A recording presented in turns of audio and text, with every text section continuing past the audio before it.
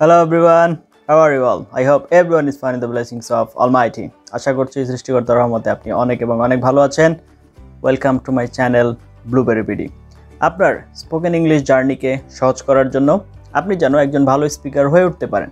আপনি যেন আপনার দৈনন্দিন জীবনে ইংরেজি খুব সুন্দরভাবে বলতে পারেন। আপ- আপনি আপনার অফিসিয়াল দৈনন্দিন ব্যবহারে আপনি যেন আপনার কর্পোরেট মিটিংয়ে আপনি যেন আপনার কর্পোরেট প্রেজেন্টেশনে আপনি যেন আপনার ডেলিগেট মিটিংসে হোয়াট এভার ইউ ডু যে কোনো জায়গাতে যান না কেন, আপনি যেন আপনার ইউনিভার্সিটি লাইফে ভালো প্রেজেন্টেশন দিতে পারেন, তারই উদ্দেশ্য নিয়ে আমি কাজ করে যাচ্ছি। আপনাদের ইংরেজি বলাটাকে সামান্যতম সহজ করতে পারাটাই আমার মূল উদ্দেশ্য। আমি লাস্ট টেন ইয়ার্স যাবৎ ল্যাঙ্গুয়েজ প্রফিসিয়েন্সির বিভিন্ন ধরনের টেস্ট এবং ল্যাঙ্গুয়েজ ট্রেনিং নিয়ে কাজ করছি, তারই ফলশ্রুতিতে কিছু সামান্য অভিজ্ঞতা আপনাদের সাথে শেয়ার করব এবং সেই বিষয়গুলো থেকে আপনাদেরকে কিছু সামান্য উপহার দেওয়ার চেষ্টা করব, যেগুলো আপনাদের ইংরেজি শেখাতে হেল্প করবে। তো আজকে যে লেসনটি নিয়ে আমরা আলোচনা করব, সেটি হচ্ছে কানেকটিভস এবং কিছু সাইলেন্ট ওয়ার্ডস যেমন, আপনাদেরকে একটা ওয়ার্ড বলি, যেমন ধরেন, খুবই সিম্পল ওয়ার্ড টক এটার স্পেলিংটা যদি আপনি একটু খেয়াল করেন টি এ এল খে কিন্তু আমি যখন এটার উচ্চারণ করছি, তখন কিন্তু এটার উচ্চারণ এলটা সাইলেন্ট থাকছে। এই জন্য এটাকে সাইলেন্ট লেটার বলা হয়ে থাকে। কিন্তু উচ্চারণটা হচ্ছে টক এল এর উচ্চারণটা কিন্তু হচ্ছে না। কিন্তু আপনি যদি লেখেন, অবশ্যই এলটা লিখতে হবে টি এ এল খে এইভাবেই লিখতে হবে। এই ধরনের অনেকগুলো ওয়ার্ড যেগুলো আমাদের এভরিডে লাইফে আমরা ব্যবহার করি, সেই কিছু ওয়ার্ড আজকে শেখাবো আপনাদেরকে এবং পাশাপাশি কিছু কানেকটিভস শেখাবো। কানেকটিভসগুলো কেমন? যেমন ধরেন, আমরা জানি সবাই গোয়িং টু সবসময় আমরা এটা অনেক ব্যবহার করি going to I am going to market I am going to class I am going to hospital আমি কোথাও যাচ্ছি বোঝানোর জন্য। তো এইখানে একটা নেগেটিভ স্পিকার এইভাবে বলবে না।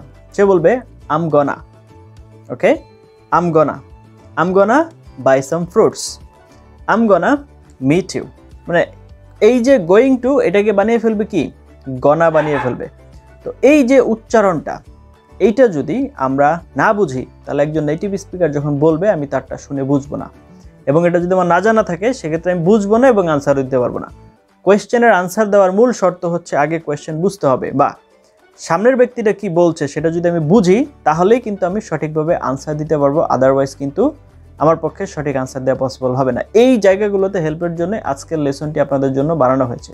তো কম্পিউটার স্ক্রিনে আপনাদেরকে নিয়ে যাব এবং আপনাদেরকে দেখাবো বিষয়গুলো কেমন, কীভাবে সলভ করতে হয় এবং কীভাবে আমরা রেগুলার লাইফে ব্যবহার করতে পারি। তবে তার আগে একটা ওয়ার্নিং হচ্ছে, আজকের ক্লাসে যে পিডিএফটা ব্যবহার করা হয়েছে, সেই পিডিএফের ড্রাইভ লিঙ্কটা আপনি হচ্ছে ভিডিও ডেসক্রিপশনে পেয়ে যাবেন। ওইখান থেকে আপনি চাইলে ক্লাসের পিডিএফটা ডাউনলোড করে নিতে পারেন।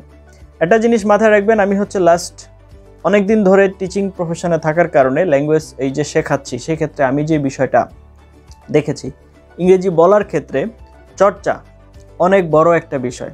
চর্চা চর্চা এবং চর্চা, আপনি কিছু পারেন না, কোনো প্রবলেম নাই। আপনি রেগুলারিটি মেনটেন করে যদি চর্চা করেন, আপনার কিন্তু প্রতিনিয়ত কম বেশি হলেও ইমপ্রুভমেন্ট হবে। আর ভাষাটা কোনো নলেজের ব্যাপার না, আপনি কতটুকু ইন্টেলিজেন্ট আপনার কতটুকু বুদ্ধি, আপনি কতটুকু চালাক এই রকম বিষয় না। ভাষা হচ্ছে ব্যবহারের বিষয়। এখন আপনি বলেন, আমাদের বাংলাদেশে, আমাদের মাতৃভাষা তো বাংলা, আমাদের বাংলাদেশে আপনি চালাক বলে কি আপনি বাংলা পারেন, আরেকজন বোকা বলে কি সে বাংলা পারে না? It's not like that right সবাই বাংলা পারে। কেন? কারণ এটা আমাদের মাতৃভাষা। তো ভাষার ব্যাপারটাই এরকম। ভাষা শেখার জন্য আলাদা করে ইন্টেলিজেন্সের প্রয়োজন হয় না।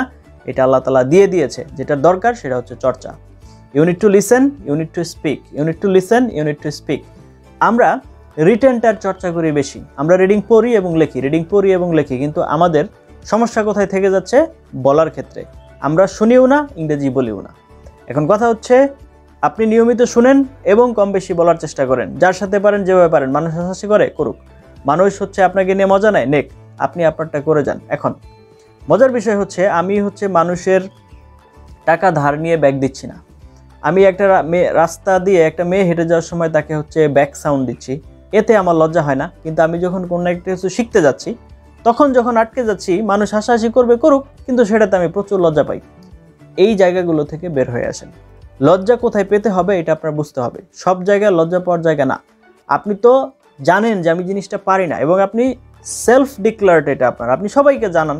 আপনি যে আমি এটা পারি না, আমি শিখতেছি। ভুল তো হতেই পারে, স্বাভাবিক বিষয়। যে কোনো কিছু শিখতে গেলে ভুল হবেই। যেমন ধরেন আপনাদের ফর এক্সাম্পল বলি, এই যে আজকের যে লেসনটা আমি মেক করছি, আপনার কাছে কি মনে হয়? ফার্স্ট টাইমে কি আমি এরকম লেকচার দেওয়া শিখে ফেলছি ক্যামেরার সামনে বসে? নো এটা শিখতে আমার সময় লেগেছে।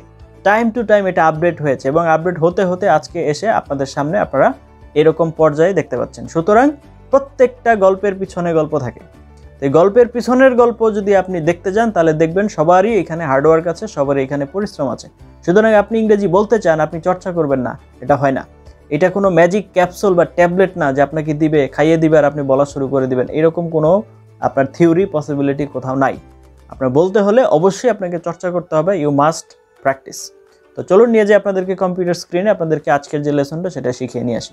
ওকে তো চলে আসলাম আমরা আমাদের কম্পিউটার স্ক্রিনে আজকে আমরা যে জিনিসগুলো শিখব সেটাকে বলা হচ্ছে connectives or connectors whatever you say native স্পিকাররা যেগুলো অনেক বেশি ব্যবহার করে। তো আমি এগুলোর কিছু এক্সাম্পল রিয়েল লাইফে যেগুলো ব্যবহৃত হয় এবং তার কিছু এক্সাম্পল সেন্টেন্স দেওয়ার চেষ্টা করেছি। So have a look want to যেটা আমরা নর্মালি ওয়ান টু প্রনাউন্স করছি, এটা হবে wanna I wanna know this matter আমি এখানে কি বলতে পারি? I want to know this matter এটা যদি বলি, তাও ভুল হবে না।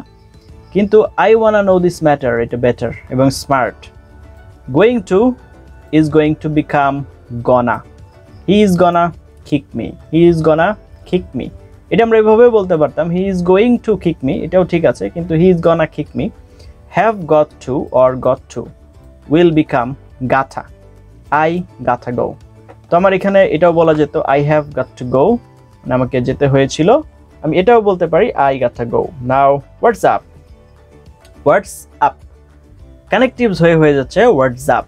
What's up, guys? Give me give me. Give me a glass of water. Give me a glass of water. Let me let me. Let me do this myself. Let me do this myself. Let us let's. Let's go for walk. Let's go for walk. Do not know don't know. I don't know how to swim. I don't know how to swim. Come on come on. Come man you gonna make this. এখন কথা হচ্ছে, এগুলোই কিন্তু শেষ না। তবে আমাদের normal লাইফে এগুলোই হচ্ছে মোটামুটি ব্যবহৃত হয়। তো আপনারা অনলাইনে আরও পাবেন এবং হচ্ছে যখন মুভি দেখবেন, বিশেষ করে হলিউড মুভি দেখবেন, তখন এগুলো কিন্তু আরও অনেক প্রয়োগ পাবেন। তো আমি আপনাদেরকে জাস্ট কিছু আইডিয়া দেওয়ার চেষ্টা করলাম যে এখানে এরকম হতে পারে। এরপরে আপনাদেরকে কিছু ওয়ার্ড দেখাবো, যেগুলো হচ্ছে সাইলেন্ট ওয়ার্ডস বলা হয়ে থাকে, অথবা সাইলেন্ট আলফাবেট বলা হয়ে থাকে। যেমন আপনার হচ্ছে লেখার সময় স্পেলিংয়ে আলফাবেটটা দিতে হয়, কিন্তু উচ্চারণের সময় উচ্চারণটা হয় না। যেমন, আমরা এটা উচ্চারণ করে, এই ওয়ার্ডটার উচ্চারণ করে নর্মালি ফ্যামিলি কিন্তু এটা সঠিক উচ্চারণ হচ্ছে ফ্যামিলি এই যে বোল্ড করে রেখেছি আইটা এটা কিন্তু এখানে সাইলেন্ট ফ্যামিলি না, উচ্চারণ হবে ফ্যামিলি এরকম সবগুলোর ভিতরে বোল্ড করা আছে, আমি আপনাদের উচ্চারণগুলো শিখিয়ে দিচ্ছি।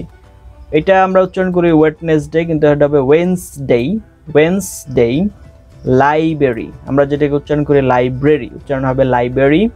আমরা উচ্চারণ করি ডিফারেন্ট উচ্চারণ হবে different different tonight tonight history listen tonight history listen walk talk psychological pseudo what তারপরে হচ্ছে why when where white which whistle wet. তারপরে হচ্ছে castle rhythm knee kneel know knife knight knowledge not knowledge আমরা যেটাকে knowledge বলি, উচ্চারণ হবে knowledge knit knock foreign জজ match weigh tsunami technique thought our honest sandstone sandwich. Sci-fi scratch right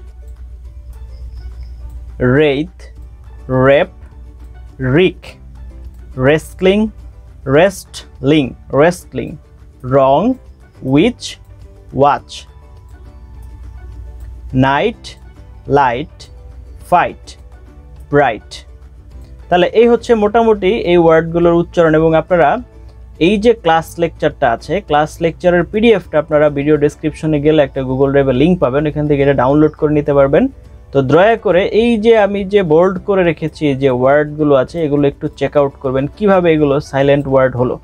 এবং এখানে আপনাদের জন্য একটা ডায়ালগ দিয়ে রেখেছি, দয়া করে এই ডায়ালগটাও চর্চা করতে পারেন, যদি আপনারা চর্চা করেন, তাহলে আপনাদের স্পোকেন ইংলিশে এটা অনেক হেল্পফুল হবে।